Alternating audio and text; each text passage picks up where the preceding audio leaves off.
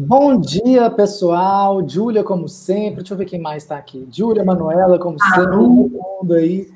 Ainda bem, nessa segunda-feira, que hoje a gente vai falar um pouquinho sobre a obra Relato de um Certo Oriente, né, do Milton Ratum. Né, Laís? O que, que a gente já pode começar a falar um pouquinho sobre essa obra aí de, de, de intenção de vestibular? A gente ainda está, né? Qual que é o foco que a gente está agora? Só para a gente situar esse pessoal que está nos ouvindo aqui. Beleza, bom dia, gente! Bom dia, Manu, Júlia, Cíntia, todo mundo que está aí. Manda oizinho. Manda alô do bom dia da segundona no Papo Literário aqui. Hoje a gente fala sobre o relato de um certo Oriente, como o Balti já apresentou para nós. E com alegria essa obra sobre que é do Milton Ratum, que é um autor de Manaus, na verdade, que é famosaço, famosaço, famosaço. A Rede Globo fez uma adaptação de um dos seus romances, que é o romance Dois Irmãos, que virou uma novela, não sei qual. Ou seja, não sou muito ligadona em novelas, mas tem essa notícia aí que houve essa adaptação. E a gente tá, esse livro ele faz parte do grupão das obras do que caem aí no vestibular da Federal do Paraná. Né? Então, é uma obra que está conversando diretamente com Nove Noites, do Bernardo Carvalho, que a gente já conversou. Então, a aulinha de hoje é uma aulinha legal de vocês fazerem uma fusão aí com a aula sobre o Nove Noites, que vão ser dois livros que surgindo na prova um dos dois, possivelmente eles vão estar tá em diálogo, vão estar tá em interlocução. Né? E a gente tem também Últimos Cantos, aí semana passada a gente falou de Clara dos Anjos, estamos é, construindo aí essa organização dessa curadoria da Federal do Paraná, que eu imagino que vai ser uma delícia de fazer, porque afinal de contas são obras todas muito interessantes do ponto de vista crítico, um pouco do ponto de vista autobiográfico, né?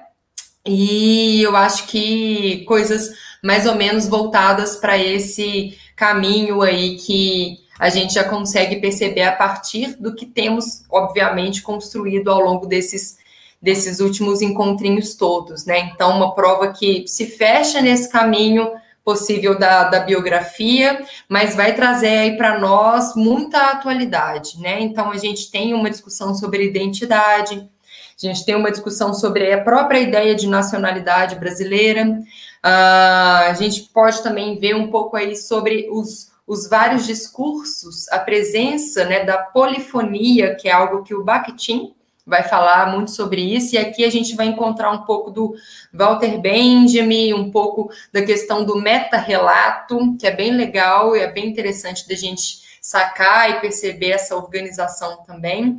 Então, assim, um livro riquíssimo, riquíssimo, riquíssimo, e que conversa, como eu já tinha mencionado para vocês, muito com a história do, do Nove Noites. Né? O Nove Noites se passa lá no estado do, do Tocantins, que é o cenário da obra. A gente tem ali um hibridismo textual muito grande, então a gente tem é, jornalismo, a gente tem fotografia, a gente tem as cartas, a gente tem a, a, apresentação de mais de um tipo de narrador para nós naquela obra e toda a discussão sobre o suicídio do Quen que é o nosso estrangeiro, né, que está ali como protagonista nessa obra do Bernardo Carvalho. Aqui a gente vai ter a história em Manaus.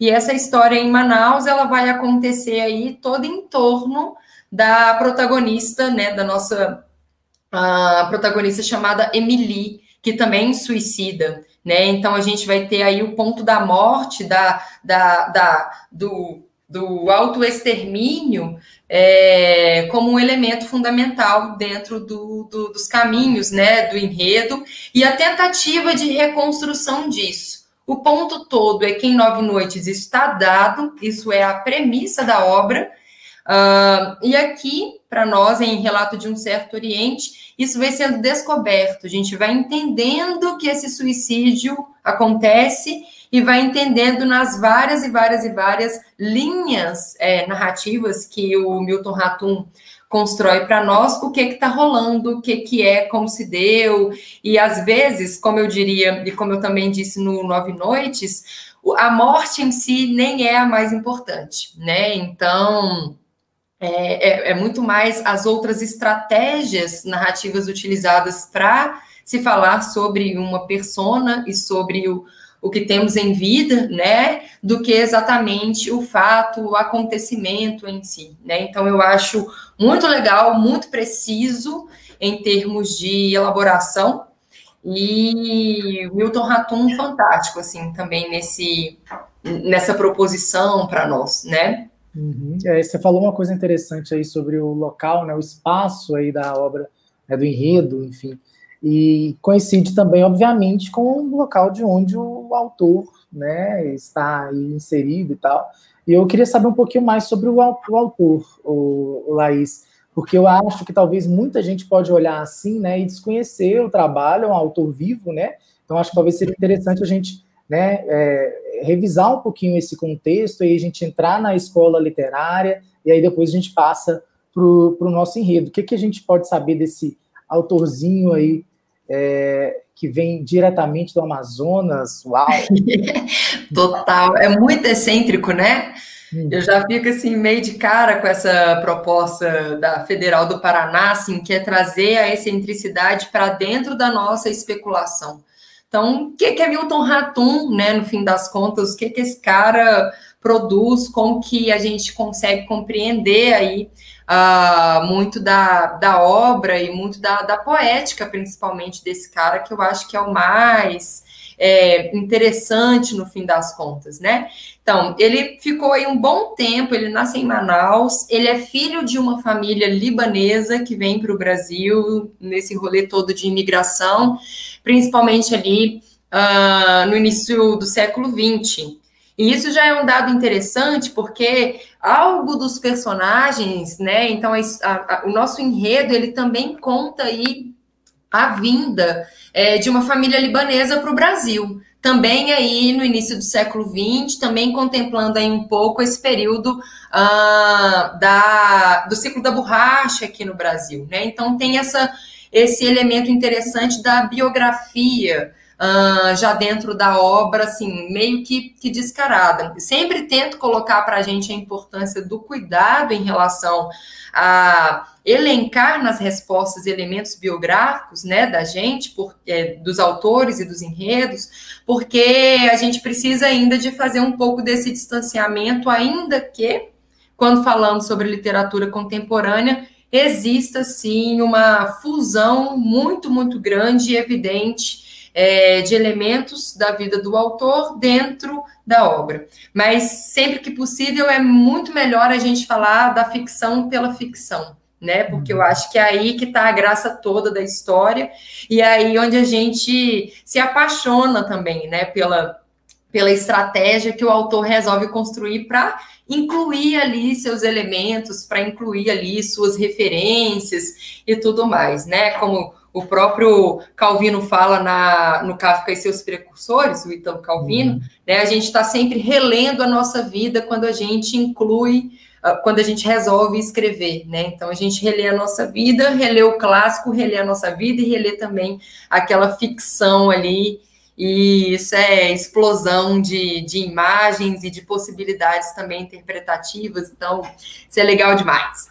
É, eu acho, inclusive, já pegando esse ponto seu, porque eu acho que é que é algo que eu sempre digo para os meus alunos, assim, que é algo que eu sempre percebi, percebi na faculdade de letras, né? Tipo assim, a gente observar a obra, tentar des desvincular né, é, da vida, como você disse, é, é, quase que impossível, né, desassociar, a obra da vida, mas eu acho que é um passo a mais quando a gente analisa a obra, a teoria, a ficção, os elementos, enfim. Então fica essa dica, porque é meio impossível também da gente avaliar, né, tipo assim, dentro da obra, o que, que é vida, o que, que não é, e, e, e é sempre algo que eu falo para os alunos, falo, gente, vamos observar a obra, vamos tentar né, saber que o autor tem toda, toda, toda a presença ali, obviamente, mas tem muita coisa a mais aí dentro dessa obra que a gente pode né, analisar.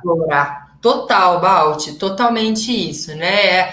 Você parte ali do princípio mínimo, mas na hora que você se depara com a narrativa, o negócio está explodindo de imagens, de especulações, de hipóteses que a gente consegue, né, que a gente é convidado a explorar, e isso é que é a parte maravilhosa da literatura, né? A gente vê que tem uma verossimilhança, mas a gente não partir apenas dessa verossimilhança e desses elementos de realidade para é, para confirmar tudo dentro da uhum. obra, né? Mas entender que isso é ficção, que isso é imaginário, que isso é fantasioso, que isso é uma elaboração da linguagem mesmo, né? Ainda que tenha testemunho, ainda que tenha é, muitas outras evidências do campo da realidade apenas, assim, ou do real, que é um, um, inclusive uma tônica dentro da faculdade de letras, né? Então, o Ratum, no fim das contas, vem aí, voltando aí para o nosso, para né, a questão que Balt trouxe para nós. É, ele vem aí com a família toda, ele está vivo, ele nasce em 52, ah, então, chofem. Ah, e o Relato de um Certo Oriente, ele escreve em 1989, é praticamente, é na verdade o seu primeiro livro, e vem já como um boom, assim, a galera fala, caraca, que cara é esse? Quem é esse autor? E aí ele dá, é, né, ele trabalha um tempo na Universidade da Califórnia, ele também trabalha um tempo em Barcelona. Então ele vem com uma trajetória de intimidade é, com a palavra muito grande, de formação também de leitores críticos, né, nesses lugares, nesses países onde ele trabalha também, é, na Espanha e nos Estados Unidos. Então, é, é, é, legal como ele já chega aqui para nós como um autor com muita referencialidade é, dentro da sua obra. E a gente vai perceber que ele traz elementos, principalmente de Barcelona, para dentro do relato de um certo Oriente. E o que a gente mais se fascina na obra do Milton Ratum, seja lá com Dois Irmãos, que é um livro muito, muito aclamado, né? Até já falei dele, seja com Cinzas do Norte, que ele publica em 2005, uh, praticamente o mesmo ano que a gente tem o Nove Noites, do Bernardo, e esse relato de um certo Oriente chega a receber o prêmio Jabuti, que é um dos prêmios mais importantes da literatura brasileira. Então, assim, não é qualquer obra, né? A gente não está lendo, a Federal do Paraná não escolheu aí para a gente um bocadinho de livros bobinhos que a gente vai ter que apenas fazer uma relação entre eles. Assim, ela escolheu a dedo elementos que vão nos trazer repercussão para o que é uma discussão da literatura contemporânea também, e da literatura brasileira, que eu acho que é o grande, o grande ponto é, dessa seleção de obras feitas para esse ano. Né? Então, o que a gente vai perceber dentro da literatura do Ratum, dentro da estilística do Ratum, é que ele adora mesclar vozes, é que ele adora trazer pontos de vistas é, diferentes para o mesmo fato. Se parece isso um bom bocado né, com o que a gente tem em Claro dos Anjos e um pouco com o que a gente tem em Nove Noites. Então percebam aí que a gente já consegue começar a captar que as visões de cada personagem, as visões é, que são lançadas dentro da narrativa, são elas o ponto tanto de imbricamento da coisa, de aproximação dos fatos, mas principalmente, né, o que a gente adora aí na literatura, que é a pluralidade que é a, a, o dinamismo da linguagem, da percepção, é um pouco do que são todas as discussões sobre o jornalismo, né? Você tem o mesmo fato e sete, nove, quinze versões daquele mesmo fato. Então, onde a gente entra com contestação e onde a gente entra com absorção desses pontos de vista, né? Eles são complementares ou eles são divergentes? E isso é brilhante no fim das contas, porque é, é algo que a gente tem valorizado enquanto literatura contemporânea, que é todo o caminho que a gente tem depois do pós-guerra, né? É, é, o elemento que une a literatura contemporânea, a, a possibilidade de todos dizerem e a gente não ter mais um narrador unívoco, que é algo que o Walter Benjamin, que é um teórico muito fundamental, traz para nós assim. O legal do narrador é ele permitir que a gente vá de encontro real com a experiência que aquele narrador tem ali para dizer para nós. E não apenas uma, um distanciamento, uma separação entre aquilo que está sendo contado e a gente aqui apenas como ouvinte. É, o, o, legal desse narrador é desse narrador contemporâneo é que normalmente ele tem tanta vitalidade e propriedade para dizer sobre aquilo que ele vivenciou, que ele experimentou, que o grau da gente assumir aquilo com extrema, uh, como extrema verdade, como extrema verossimilhança, é assim indiscutível. E diante disso, cabe a nós, leitores, justamente é, é, renovarmos esse pacto de, de esse pacto ficcional, né, hum. esse pacto de leitura construído ali dentro. Porque aí a gente começa a compreender que o narrador ele só morre, ele só deixa de existir, outra coisa que o Benjamin fala também, né, quando é, esse distanciamento ele vai se ampliando, vai aumentando, é, a ponto de aquilo que está sendo construído ali não ter mais relevância nenhuma para o que se vive agora. E os narradores contemporâneos, né, das obras contemporâneas, eles tentam cada vez mais se aproximar dos nossos gatilhos de incômodo das coisas que mais vão suscitar em nós aí uma desconfiança, né? Um desejo tipo, mas onde que isso daqui está dentro do texto? Quem trouxe essa informação? Como que isso daqui está sendo engatilhado, né? Encadeado dentro da obra? Então, se a gente não se faz essas perguntas, o texto morre. O texto perde é, muita força. Tá aí o grande, talvez uma das, das grandes dificuldades de muitas pessoas lerem, por exemplo, Machado de Assis, de dizerem, ai, mas ele é difícil, ai, mas o Machado é tudo tão. É, a engrenagem é tão perfeita que os, os, os, leitores, talvez desatentos, não saquem isso, né? Porque ele continua falando das hipocrisias que a gente vive atualmente na nossa sociedade, né? E aí a gente vai ter esse distanciamento muito mais apenas por conta da, do vocabulário, da linguagem. E o que as tendências contemporâneas literárias tendem a trazer para nós é um pouco o oposto né? São narrativas que vão trazer elementos contundentes, assim, o aborto, é, o desaparecimento, a migração, o estrangeirismo, a lida com a própria construção da memória, a lida com a própria construção da identidade. Isso são a discussão sobre o indivíduo em si, sobre como ele se comunica com o entorno dele, a comunidade a qual ele faz parte. Então, esses são elementos das tendências contemporâneas, ou que a gente pode só chamar de literatura contemporânea, da qual Milton Ratum vai comprar assim grandemente enquanto força, enquanto característica, enquanto linha de proposição narrativa também. Se vocês colocarem no YouTube assim, entrevistas com Milton Ratum, tem uma que é fabulosa, que é, é, legal isso, né, gente, da, da gente estar com autores contemporâneos, com autores que estão vivos aí, porque você começa a sacar o pensamento dos caras, de onde que eles partem, os princípios que eles utilizam para as coisas. E aí, nessa entrevista, o Ratum fala assim: é, então, eu sempre quis ser poeta, eu sempre quis escrever versinho e tal e tudo, porque eu acho que, que pluraliza a gente, parece que é uma coisa também é, é sofisticada demais e tal, mas aí eu não conseguia eu não conseguia porque vinha um ímpeto de querer trazer tudo que estava vivo dentro de mim, que não se fazia em imagens, às vezes até desconectadas, às vezes até isoladas. E aí, quando eu percebi, eu estava fazendo uma espécie de poesia, só que dentro da prosa. Então, eu consigo trazer imagens desconectadas entre si, a priori, para um leitor leviano, mas no fundo, no fundo, eu estou construindo ali um embaralhamento dessas imagens todas e elas têm um cerne entre si. Então, eu não estou fazendo poesia, eu estou fazendo prosa, mas eu estou trazendo elementos da poesia aqui para minha escrita. E aí agora eu consigo me reconhecer como um prosador, como um autor de narrativas, mas que enxerga a dimensão da poesia dentro do meu texto.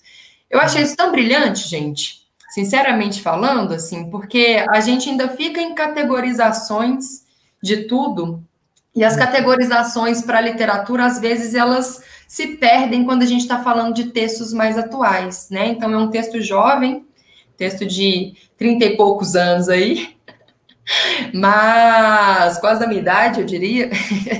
mais novo que eu, uh, mas eu acho muito legal a gente perceber que as coisas elas estão em fusão nesse momento que a gente vive agora é uma obra completamente é, trabalhada, inclusive nessa perspectiva, né? É, totalmente. Gente, depois dessa profundidade de discussão, né, a gente, a gente foi fundo. Como diz aquele jogador de futebol, foi fundo. E foi, né? É, é, mas é isso mesmo, gente. É isso, isso que é importante. Eu quero só deixar claro aqui para todo mundo, gente, que isso aqui é um bate-papo multidimensional. Vocês podem conversar com a gente em qualquer momento, né? A gente não tá no, no só eu e a Laís, que, que, qualquer coisa que vocês quiserem né, dar uma inferência, se vocês falam assim, ah, eu quero qualquer assunto, se quiser contar uma piada, pode falar aí que a gente para aqui para escutar vocês, tá bom? Mas eu acho importante, então, a gente começar é, com essa folguinha de tempo já no enredo, né, para a gente poder caprichar bastante nisso. O que, você acha? A gente já pode começar? Nesse... Bora lá, bora lá demais. Esse tchudu, tchudu, tchudu. Turma, então, seguinte sobre, bom, essa coisa chamada relato de um certo Oriente. A primeira pergunta, né, que vem é, com esse título é de que Oriente o Milton Ratum está falando. Né? Então, relato de um certo Oriente, já tem né, pronomezinho aí, essa indefinição aí com certo, né? E esse artigo também aí no início, né? Relato de um. Então a gente já fica assim, bom, o que está rolando nessa história? O que está apresentando? O que, que vai ser apresentado aí para nós? Mesmo se a gente der um Google rapidão e tal na história, e fala lá a história da Emily e vários e vários narradores e tal. E você pega dezenas de resumos, eles vão trazer isso assim de imediato. Mas a pergunta ela ainda fica vaga, né? Ela fica, na verdade, vaga não. A resposta ela fica vagando ainda entre nós, assim, né? Que Oriente que será esse? É um Oriente espacial, é um Oriente que a gente está pensando lá, China, é, África, a gente está pensando Oriente Médio, que lugar que a gente está pensando, né? E essa espacialidade que eu já tinha comentado é, de início com vocês é um dos pontos assim mais interessantes da história, porque o espaço e o tempo eles estão sempre andando de mãos juntas dentro da literatura, né? A gente pensou espaço, a gente já quer organizar tudo dentro de um tempo, dentro de, dentro de uma linearidade. E uma das coisas que o Milton Ratum vai fazer aqui para nós vai ser suspender essa noção das duas coisas. Ele suspende a noção de tempo, porque ele vai trazer vários narradores para nós, e suspende a necessidade de um espaço em tempo integral, porque cada narrador, cada perspectiva de, de, de, de, narra, de narração, desculpa, dentro da história, vai trazer para nós aí um elemento espacial fundamental, ou seja, para cada um de nós, se tivéssemos que narrar o mesmo uh, fato, obviamente daríamos detalhes cênicos é, de cenários, de espaço completamente distintos. E por que, que eu estou trazendo essa, essa perspectiva aqui para vocês em relação ao próprio título? Porque esse Oriente aí, ele vem com muitas cargas já semânticas, né? O que a gente chama de polissemia né? A, a, os sentidos ah, é, polissentidos, né? Na verdade, multissentidos, né? A ideia de polissemia, mais de um sentido para a mesma palavra. Esse Oriente vai vir com a referência é, da carga dessa família libanesa que vem morar no Brasil, mas a nossa narradora ela está saindo da Espanha, indo para São Paulo e aí ela chega em Manaus. É, aí a gente tem vários outros personagens que estão ali só e somente em Manaus. Aí a gente vai ter os rios todos amazonenses como, vamos dizer aí, como afluentes dessa história central.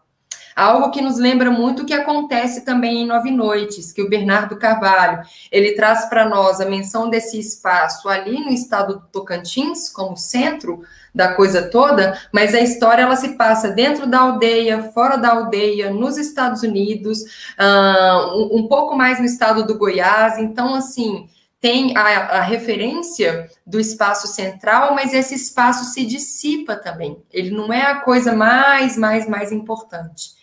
É, bem como a noção de tempo, né? Que no Bernardo Carvalho em Nove Noites, vou tentar sempre trazer essas comparações para vocês nessa construção, porque eu acho que é a maior tendência possível que a gente vai ter uh, na avaliação, né, na nossa seleção. No Bernardo, a gente vai ter o caminho aí de, de um tempo pautado em nove noites, mas aqui nós vamos ter um tempo pautado em 20 anos e em 50 anos, né? Então, esse Oriente que vai surgindo aqui, ele também desconstrói para nós a noção tanto espacial quanto a noção de temporalidade, já que cada narrador que entra, que começa a participar da nossa história, ele traz um momento específico uh, de fala e um momento uh, que também se dissipa, já que a gente tem um tempo totalmente memorialista. Essa palavra, para mim, é a mais fundamental da nossa obra. A tentativa de um certo Oriente é de reconstruir a identidade memor memorial, né, memorialista, de uma família que sai do Líbano e vem para para Manaus, que vem para o Brasil para tentar recomeçar a vida. Então a gente tem cacos, né? A gente tem vários fragmentos uh, da história dessa família aqui. Beleza? Tranquilo? Então, ponto fundamental aí, essa reconstrução, essa identidade de um estrangeiro, de uma família estrangeira. Então, já a discussão sobre isso também para nós. Uh, o ponto da polifonia e uma referência direta do Milton Ratum, As Mil e Uma Noites, né? Que é aquela obra é, da Sherazade que está ali sempre contando para que algo não se morra, contando para que algo não se morra. Aqui, todos os nossos narradores estão contando a história da Emily para que ela que faleceu uh, permaneça com uma certa vitalidade entre eles, né? Para que aquilo ali não apague uh, tudo aquilo que foi construído por essa família. Então, basicamente, a gente vai ter isso como início dos nossos temas todos. É... Aí, muito bom. Uh, vamos ter então as estratégias narrativas que a gente vai entender aí pela colagem, isso eu acho que é legal, né? Então, um narrador ele vai se sobrepondo à fala do outro, e isso traz para nós leitores uma sensação de que tem algo meio descolado, mas que tem algo aí importante para a gente é, fazer as associações, né? E a partir dessas associações, a gente ir tirando algumas conclusões. Laís, eu vou ter aí uma, uma visão completa, uma visão integral desse enredo da história, que eu vou entender tintim por tintim e linearmente? Não, a gente vai ter aqui fragmentos. E esses fragmentos vão trazer características, vão trazer impressões para nós, e vão ser nelas que a gente vai se basear para seguir, né? Para entender qual que é o rolê dessa história, né? Então, Ratum traz aqui para nós a liberdade dentro da narrativa de que a gente não precisa de fechar uma leitura, ah, digamos assim, com uma verdade única, né? E com uma versão é, unilateral das coisas. Então, vamos ter impressões, e são essas impressões que são válidas. Né? Então, ele trabalha essa subjetividade também, essa liberdade também dentro da narrativa. O que, é que a gente tem, então, no fim das contas? A história da Emily, que é essa moça, né, que vem para o Brasil e que ela vai ter uh, um marido uh, e vai ter quatro filhos, né, no fim das contas. Uh, esses quatro filhos vão ser os seus filhos genuínos, né, os seus filhos de sangue. E ela vai adotar dois filhos também. Um desses filhos permanece em Barcelona, e este livro é escrito com a tentativa de recuperar a história da Emily para enviar para esse filho que está em Barcelona. Nossos narradores não dão nome para esse filho, né? Então a gente sabe que tem um filho de Emily em Barcelona e que esse livrinho, essa narrativa vai para ele, ok? E a gente vai ter uma narradora central deste livro, né? Que ela também não recebe uh, nome. Então, os dois filhos adotivos são os grandes locutores e interlocutores dessa nossa obra e eles não recebem nome. Vejam aí a importância que o Milton Ratum já dá para nós da noção de, de narrador, da, da noção de enunciador, da noção daquele que diz como alguém que pode ser nulo, que não precisa de ter aí um nome, um papel e uma função dentro da sociedade. Ele é um contador de algo, né? E quem vai receber? Esse receptor também, esse destinatário, como alguém que também não precisa de ter nome. Eu sou uma leitora desta obra aqui, vocês são leitores desta obra, e não tem muita importância saber quem somos nós, nem de onde nós viemos. Né? Então, vamos partir desse pressuposto aí para a coisa toda. Então, sai é, essa nossa narradora, que estava também em Barcelona, e ela vai, vem para São Paulo é, e fica um bom tempo em São Paulo, numa casa de repouso, meio que para fazer aí alguns, é, alguns exames, um tratamento uh, psiquiátrico, é, a gente pode chamar de algo nessa vertente, assim, né, de um, um trato direto com o emocional e com o neurológico. E ela vem para São Paulo 20 anos aí depois de quando ela saiu do Brasil. Ela chega em São Paulo, passa um tempo nessa casa de repouso e resolve voltar em Manaus, uh, que foi onde ela esteve ali por pouco tempo, né, uh, com sua família adotiva.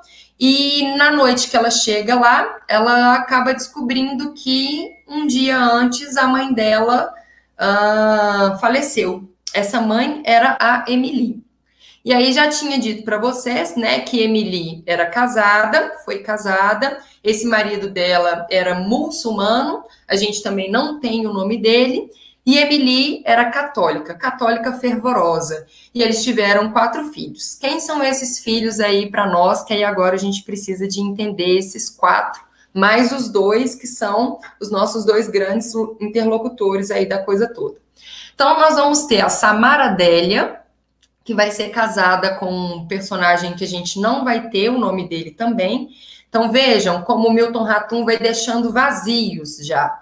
Ele já vai omitindo os nomes dos personagens, e isso nos causa um certo incômodo, mas principalmente isso nos dá a sensação de que o vazio é algo bom, é algo importante. Não ter controle de tudo e não saber de tudo é o grande mistério da boa narrativa, né? O que nos movimenta, inclusive, para querer ler mais. Véi, que horas que vai aparecer o nome dessa galera aqui? Eu sei, ah, já tá lá quase acabando o livro e a parada não te satisfaz. Você termina e fica ali, ah, não acredito, o narrador me traiu e tal. É muito legal. É, é então a gente vai ter esse pai aí da, de uma das filhas, que é a Samara Délia, e eles vão ter uma filha, que se chama Soraya Ângela. Essa mocinha, Soraya Ângela, ela vem aí com muitas questões, né? Uma criança que vai ser surda e que vai ser muda também. Então, ela vai trazer essas relações aí de que a gente já precisa de olhar para ela de uma, de uma outra perspectiva, da perspectiva de que a comunicação é, dela precisa de outros olhares e de outras cheganças. Então, não é qualquer linguagem que a acessa, e ela também não acessa qualquer linguagem. Né? Ela também não, não consegue se comunicar com qualquer linguagem, com qualquer facilidade, como a gente poderia dizer. Soraya Ângela, então, vai sofrer diversos e diversos e diversos bullying dentro dessa história. Por quem? Por dois outros filhos da Emily, que recebem o nome apenas de gêmeos, ou os demoniados ou os encapetados, porque é assim também o modo como o narrador, a nossa narradora principal, traz a coisa, ok? E aí, dentro dessa, dessa perspectiva, o que a gente vai ter, no fim das contas, é que esses dois gêmeos, eles são monstruosos, né? Tudo que quer causar de incômodo para nós dentro da narrativa e de que vai ser perturbador, ou mesmo é, difícil de aceitar, ou mesmo um pouco invasivo, é, autoritário por demais, é provocado por esses dois. Tem um trechinho aqui que diz assim para nós, né? Pensava que meus irmãos haviam me perdoado por ter tido uma filha, mas tudo não passou de uma encenação para conquistar a simpatia de minha mãe. Emily pensou que eles tivessem quebrado o gelo comigo, mas só me cumprimentavam na frente dela, bajulavam a coitada e fingiam respeitar meu pai porque precisavam da chave da casa e de uns trocados para ferrear. Disse isso a minha mãe e sabes o que me respondeu? Tua filha nasceu surda e muda e tu estás ficando insensível. Teus irmãos te adoram, às vezes são incompreensíveis contigo, porque ainda são meninos. A adolescência é a idade da rebeldia. Sim, eram adolescentes cínicos. E aí a gente tem aí uma continuidade é, desse momento, mas o que eu trouxe aqui dessa passagem basicamente é a marcação dessa surdez e dessa mudez, né, da, da Samara, e é também já a presença dos meninos adolescentes que são bem maléficos, né? Então eles vão ser cínicos, eles vão cumprimentar usando o nome só na frente da mãe. É, fora isso, eles vão bater na criança, vão ser super é, horríveis. É, tem várias cenas bem violentas assim dentro do livro e a gente vai olhando para isso, né? Essa construção familiar aí. Então vamos ter essas, essas duas figurinhas, que são esses dois gêmeos aí. E a gente vai ter a figura do Hakim, que é o filho mais velho da Emily, né? E o Hakim, ele vai ser, no fim das contas, o filho bom, digamos assim, né? O filho que vai tentar cuidar de muitos elementos, que vai tentar preservar uh, uma identidade familiar também. Ele vai ser o único filho que aprende árabe, então, o único que se comunica, inclusive, na leitura do Alcorão junto ao pai, e e esse tipo de, de, de, de, elemento vai, vai ser presente tanto no pai quanto ele aí como um continuador da linhagem. Uh, e ele vai ser o filho, digamos assim, que vai trazer muitos elementos narrativos para uh, acrescentar e para enriquecer a narrativa da nossa querida narradora, que a gente não tem o nome dela. Né? Então ele vai, vai ter um momento da metade do livro para frente, o Hakim entra, ele recebe a voz dentro do, dos capítulos mesmo, ele começa a falar mesmo, e ele percebe que ele sabe mais coisas sobre a mãe do que a gente imaginava, né? E isso vão ser elementos interessantes aí para para nossa nossa percepção dessa narrativa toda. Então, é, diante disso a gente tem Emily, que católica, o seu marido, que é muçulmano, quatro filhos é, genuínos, dois filhos adotados. Uh, desses quatro filhos, dois são gêmeos, um é o Hakim, uh, uma é a Samara Délia, que tem a filha, que é a Soraya Ângela, e a Emily possui aí dois irmãos, o Emílio e o Emir. E aí nós temos os engates da escola, da, da, da história, no fim das contas. O Emílio é muito é, desaparecido, assim, a gente tem poucas informações sobre ele dentro do texto. Mas o Emir, ele suicida na história, né? E o legal dessa é, aparição do Emir, no fim das contas, para nós, é que ele é um gatilho de embate com a Emily. Então, o Emir basicamente traz para nós uh, toda a questão do mundo árabe, novamente, muçulmano, assim, feroz, ferrenho, excitadíssimo, é, e Emily como essa figura aí uh, católica. O que, é que a gente vai ter diante disso? Um determinado dia, a Emily e o Emir têm um, um, um grande embate, uh, brigam mesmo, e Emily assume que ela é, gostaria de ser freira e que ela estava indo para o convento. E o Emir toma isso como uma raiva é, terrível, tenebrosa, é, e eles ficam um tempo aí sem se falar, e o que a gente vai perceber é que em um determinado momento o Emir vai até o convento. E quando ele chega nesse convento, ele já chega para tirar a irmã dali. Não vou admitir uma irmã cristã, não vou admitir nenhum tipo de perspectiva diante disso, assim, na minha família. E ele já chega armado, assim, coloca a arma nas suas têmporas e tal, uma cena super pesada, super difícil. E nesse momento a Emily fica tensa com a coisa toda e acaba preferindo, escolhendo abandonar o, como diz, o convento e sair dali junto com o irmão. é, obviamente, a relação entre os dois não consegue se sustentar de uma maneira pacífica, e pouco tempo depois a gente percebe que o Emir ele se mata de verdade, né? Diante do, do momento de, de ver que a irmã está cada vez mais fervorosa. E essa fervorosidade de Emily é que é o, o grande impactante dessa história, porque no fim das contas a gente vai perceber que ela vai se casar ali por uma obrigatoriedade e ela começa a ter os filhos por uma obrigatoriedade do casamento, e ela vai se tornando uma mãe que está ali servindo a ideia da maternidade, né? A ideia da mulher perfeita que tem que ter vários filhos e que tem que estar casada. Essa turma está toda em Manaus. Essa turma está ali sem referência de espacialidade, sem referência de, do divino, sem é, referência de nada que os remonte mesmo àquela identidade inicial libanesa deles. Então, eles tiveram que reconstruir um espaço cultural também para eles dentro de Manaus.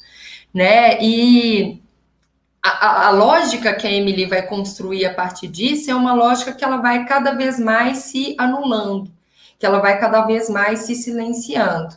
Até que esse silenciamento tão grandioso que ela constrói é, para a vida dela não consegue ela, ela, ela não consegue dividir isso com os próprios filhos e muito menos com o marido e a gente vai começando a perceber de onde vêm os embates.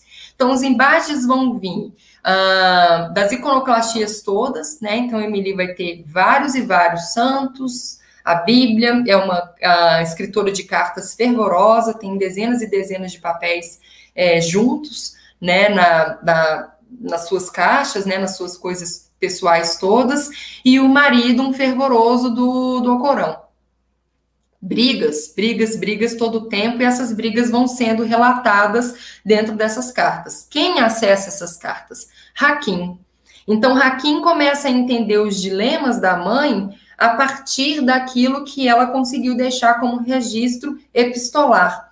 Então começa a aparecer um outro gênero dentro das narrativas para nós, tal como acontece em Nove Noites, né? A importância aí das cartas como esse elemento fundamental é, dentro da história.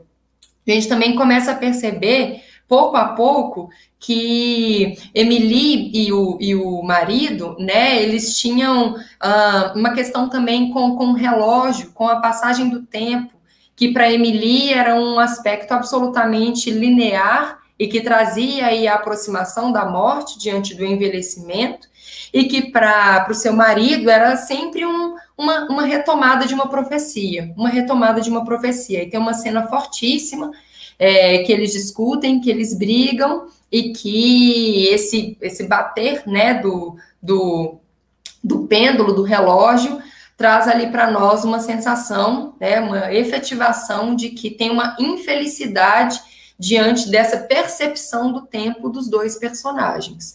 Né? Então, o que a gente vai ter dentro dessa história aqui uma, uma é, é um redimensionamento de símbolos, né? O que, que é o símbolo do tempo para a nossa Emily, o que, que é o símbolo da igreja para os dois personagens, é, como que a gente vai conseguir perceber o que cada um valoriza por demais ou por de menos, né? Já que a Emily ela vai ser uma católica muito fervorosa.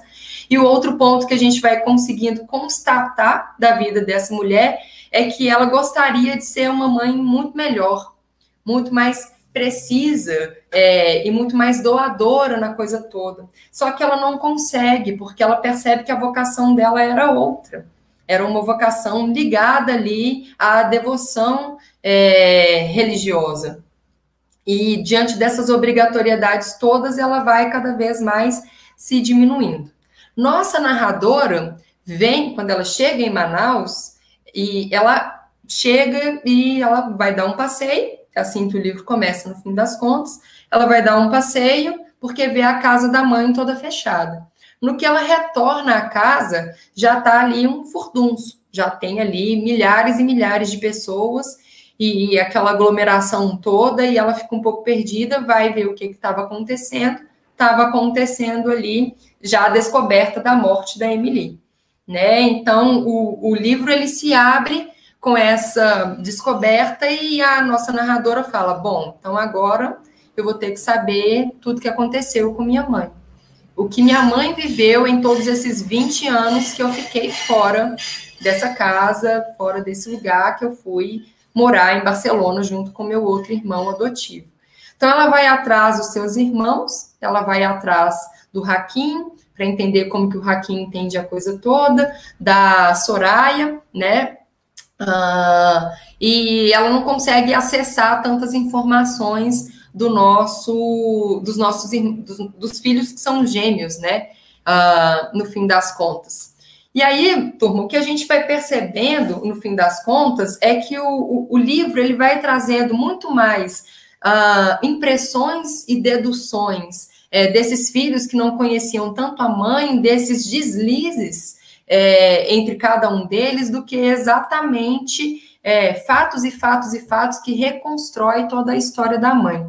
Né? E aí é legal a gente perceber que tem um trechinho aqui interessante também, é, que, que fala um pouco de alguns dos impulsionadores é, dessas questões da Emily. Então, a gente vai sacando que tem um teor muito psicologista dentro da obra, sim, né? Então, olha lá. Tive a mesma curiosidade na adolescência ou até antes, desde sempre. Perguntei várias vezes à minha mãe por que o relógio e depois de muitas evasivas, ela me pediu que repetisse a frase que eu pronunciava ao olhar para a lua cheia. Devia ter uns três anos quando apontava para o céu escuro e dizia: É a luz da noite. Foi a explicação oblíqua que Emily encontrou na minha infância para não falar de si. O que a gente tem aqui nessa primeira frase, que é o iníciozinho é, de um dos capítulos, é basicamente a nossa narradora trazendo que ela tinha curiosidades ela queria saber um pouco alguns indícios que ela já estava ali observando na casa, o porquê daquele relógio tão grande dentro da sala, o porquê da mãe sempre ficar olhando, contemplando um pouco aquele relógio, como que ela, que também era filha, também passava um tempinho ali. E ao perguntar, a mãe sempre escapava, a mãe sempre saía um pouco dessa dimensão. Então tem um símbolo da passagem do tempo linear, que é o relógio, já falei disse para vocês, que é muito presente uh, dentro das especulações que a nossa narradora faz. Aí ela diz o seguinte, assim, anos depois, ao arrancar algumas palavras de Indie Conceição, é que a coisa ficou mais ou menos clara. Ela me contou uma passagem obscura da vida de Emily.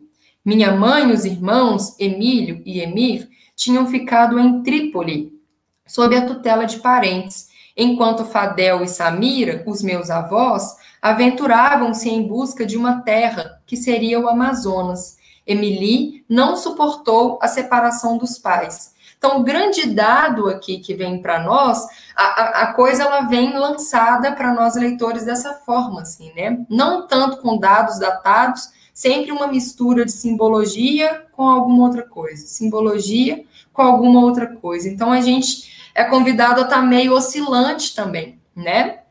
E a gente começa a perceber que a Emily ela já é fruto aí de um divórcio, ela já é fruto aí de uma separação, mas de uma separação por desamor, como seria o caso dela e do marido dela, não, uma separação aí em busca de uma outra perspectiva de vida, né, de um estrangeiro que quer mudança em sua vida, que quer outra coisa em sua vida, né? Então que a gente vai é, é, observando ao longo da narrativa são essas tendências, né? Essas linhas é, de fuga para coisas muito importantes de Emily, mas que vão pouco a pouco se, se reorganizando dentro do texto. Falei aqui da Indie Conceição, né? Balt, você quer, você quer trazer alguma coisa? Não sei como é que tá, tá aí. Não, eu tô só, só aqui de ouvinte. Né? Pode continuar. Tá é, então, ah, como estava. Beleza, então vou, vou seguir aqui que já já já estamos encaminhando mesmo para o fim aí da, da ah. coisinha, da historinha, que é uma, é uma história ligeiramente simples. A gente tem momentos interessantes, assim, né? Ah, é, o outro ponto que a gente vai perceber aqui é que para cada capítulo a gente tem uma, um personagem falando. E esses personagens eles vão oscilando ali para nós, né?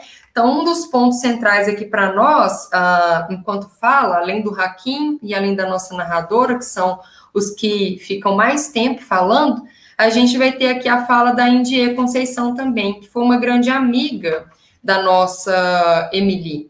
E aí, ela, ela inicia, assim, o, o, um dos capítulos, né? Uh, não apenas os amigos, também os curiosos vinham falar comigo. Sabiam que eu era meio que uma irmã para Emily. Alguns levaram ramalhete de flores que exalavam o aroma de uma morbidez antecipado, pois lá no sofá da sala, Emily ainda respirava, como um corpo que ainda vive, mas à sombra da morte. Sim, flores brancas e ramagens verdes, telefonemas e mensagens de luto, tudo isso era como levar o túmulo para dentro da casa. Um outro fato também me incomodou: a presença daqueles dois desaforados, os filhos gêmeos, né? Uh, não falaram comigo, nem sequer tocaram no corpo de Emily. Era como se uma estátua estivesse ali deitada. Lembro que na adolescência faziam danações com todo mundo. Foram expulsos de todas as escolas da cidade e muitas vezes castigados pelos padres. Uma punição amarga. Ficar de joelhos sobre um monte de milho em pleno sol do meio-dia até aparecer no... na noite a primeira estrela. Emily não perdia a paciência, tolerava essas diabruras, ao contrário do marido dela, que certa vez amarrou os dois na mesa da sala, onde permaneceram sozinhos como alimárias sem dono, até Emily convencer o marido a soltá-los. Então a gente vai vendo uma severidade nesse marido, uma condescendência do lado de Emily. A gente vai vendo que cada um que traz um testemunho sobre ela traz uma perspectiva comumente muito afetiva. Então, Emily, aparentemente, foi uma mulher é, bem, so, bem sociável, assim, né, ou bem recebida socialmente falando, assim, né, pelos filhos, é, pela, pelos amigos, pela comunidade, e tinha até muita amorosidade com esses dois gêmeos que a gente só tem notícias terríveis, assim, deles. Então, o que a gente vai sacando também pelo relato da Indie, que é a grande amiga, é que ela participa de momentos da vida, né, da Emily, mas após a morte ela traz muitos elementos também ali do funeral, também ali de um ou outro temperamento, comportamento dessa mulher. Então, é um negócio interessante como que o Milton Ratum vai trazendo essas mil e uma formas, né, de, de narrar sobre uma mesma figura, né, que relembra um pouco a coisa do, do da Sherazade das Mil e Uma Noites, né, no fim das contas. É, Acho que aqui tem um outro capítulo é, interessante para trazer para vocês, que é um pouco sobre a fala do Hakim, que é o filho, o filho que tem um pouco uma, ele talvez seja menos ah, influenciado, né, por, por, mais mazelas e tudo mais, e, e talvez o filho um, um, pouco mais adorado, assim, né, que traz muita bondade em todas as suas falas, é, a respeito da mãe. Então, diz assim um capítulo que ele, que, que, que ele divide um pouco já a narrativa, né? Menos de 500 metros separavam a casa onde nossa mãe morava da de Emily. Ao longo dessa breve caminhada, impressionou-me encontrar certos espaços ainda intactos, petrificados no tempo, como se nada de novo tivesse sido erigido. Nenhuma parede ou coluna parecia faltar às construções mais antigas. Os leões de pedra, o javali, e a Diana de bronze permaneciam nos mesmos lugares da praça, entre as acácias e os bancos onde as pessoas sentadas ou deitadas contemplavam as telhas de vidro do coreto e os répteis rumando à beira dos lagos, atraídos pela sombra das garças e jaburus que dormiam ou fingiam dormir, equilibrados por hastes finíssimas que sumiam na água. Um dos barcos, a meio caminho do coreto e das duas gigantescas sentinelas, as sentinelas de bronze, os irmãos sicilianos costumavam paurear um de costas para o outro, até se levantarem ao mesmo tempo e, sem interromper a charla, caminhavam em sentido contrário, escoltados por uma matilha de cães esquálidos. Tinha a cabeça bamba, uh, voltada para o chão. O que, é que eu estou querendo dizer com essa passagem aqui para vocês? O porquê do entendimento dela. O Hakim, ele vai sempre trazer depoimentos para nós que são extremamente alegóricos. ele traz o ponto, né? Ele fala um pouco da mãe, mas ele é o filho que conseguiu ler as coisas que a mãe escreveu, né? Ele é o filho que conseguiu ler as cartas, que captou ali um pouco daquela conjuntura familiar, que tem acesso à literatura do Alcorão, né? Então que ele traz ali para nós uma, uma grande mistura de referências e toda a construção da narrativa do Hakim é uma construção cheia de simbologias, obviamente, né? É um, é um cara que vai primeiro falar meio que é, metafórico demais para depois entrar em algum aspecto é, possível. Ele vai lembrar muito, quando a gente fala do Nove Noites, a perspectiva dos indígenas em si, né? Que vão trazer aí muito mais elementos que vão falar um pouco mais da floresta de imediato, antes de falar da morte do Quen, que é o personagem principal que suicida ela também, né? Então, é, isso acho que são elementos aí é, legais, né, que vão aparecer. A Emily é uma, escreve nas suas cartas que é uma grande sonhadora de animais, né, então ela escreve, inclusive, um bom bocado sobre isso nas suas cartas, e o Hakim recupera esses sonhos traz esses sonhos para nós ali é, dentro do texto, né? É muito legal porque a narrativa ela começa de cara, toradona, assim, no fim das contas, com a, a, nossa narradora trazendo um pouco do espaço daquela casa com elementos libaneses ali ainda, né? Aquela casa que foi é, feita, construída, marcada com essas, esses aspectos culturais há mais de 20 anos atrás, né? Então, isso vai a, a, aparecendo aos pouquinhos para nós. Tem muito do vulto, tem muito do vazio, da fumaça, do não dito dentro do texto.